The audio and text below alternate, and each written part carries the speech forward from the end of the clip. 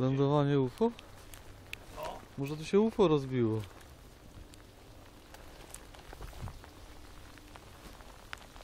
Ale jaja.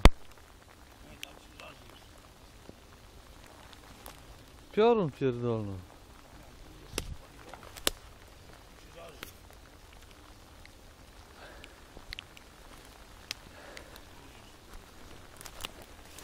Nie wiemy co to jest grane.